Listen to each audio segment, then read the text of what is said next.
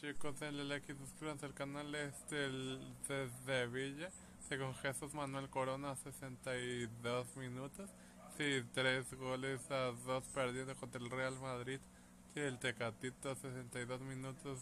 Sí, en el Sevilla. Denle like y suscríbanse al canal. Suscríbanse a Cari News y Barracudo TV. Denle like.